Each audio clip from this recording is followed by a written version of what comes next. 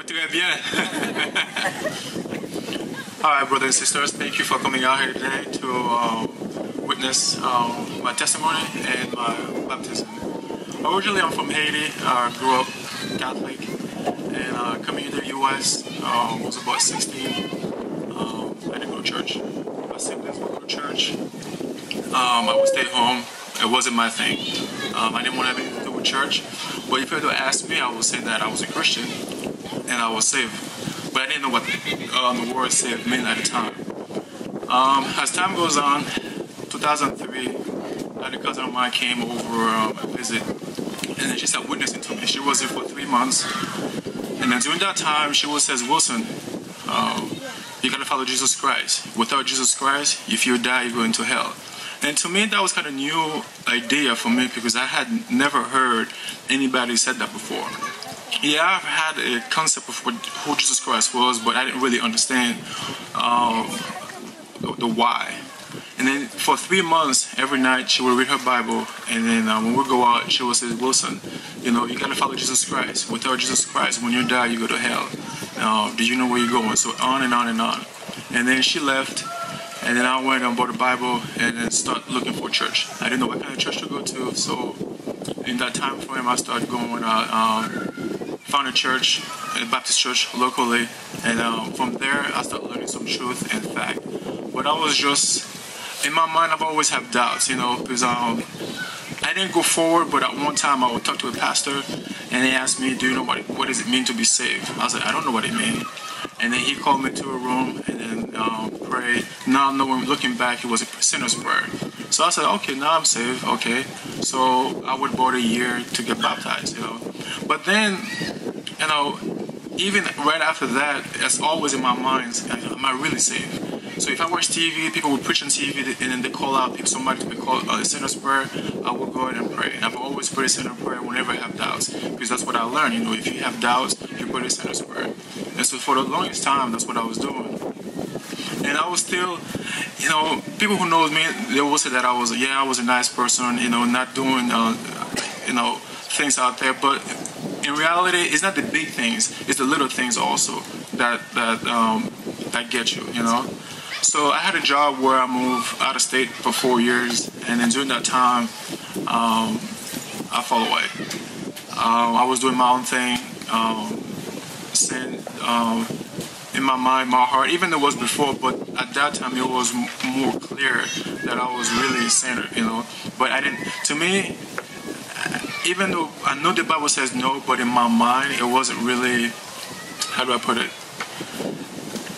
See it for what it is truly. So during the whole time I was sinning, you know, um, lying, you know, in my heart and um, sexual immorality, all of these.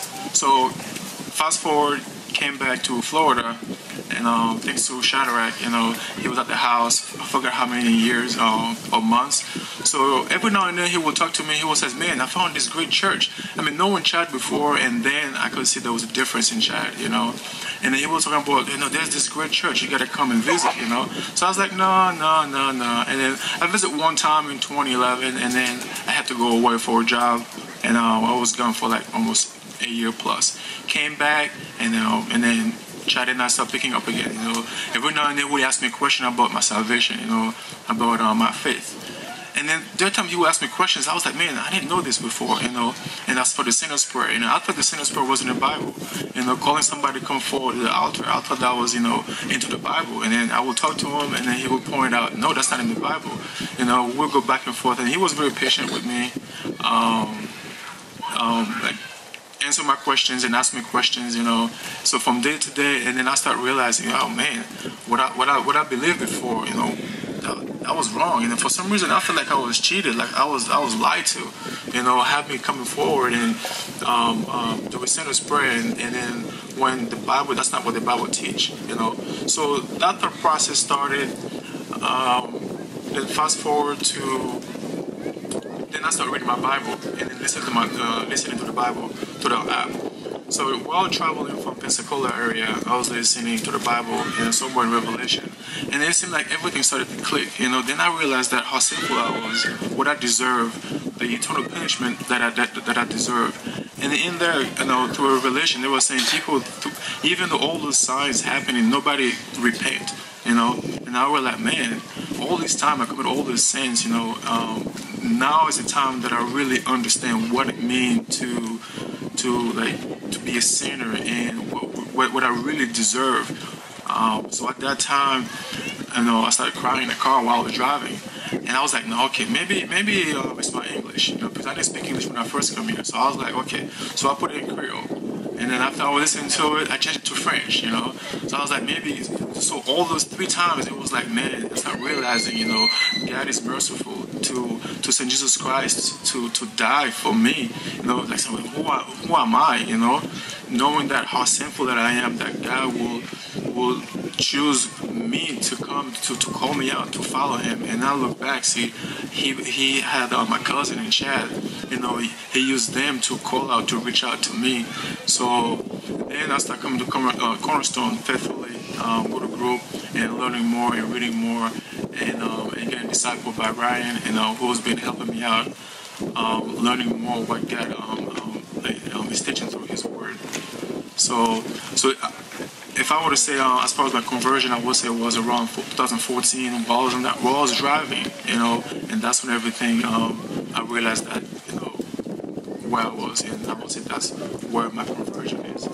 Um, so, so I've been trying to get baptized. I was supposed to get baptized earlier this year, but that didn't happen. So today I'm running get in the water and just give you guys um, a heads up. I'm gonna ask a strange request. I'm gonna ask the pastor if you could dump me in the water a little bit longer, keep me under a little bit of water, so that way my sin can be washed away.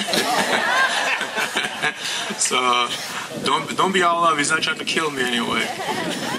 All right, guys. Thank you very much uh, for listening to me, and have a blessed day. Lamar Wilson.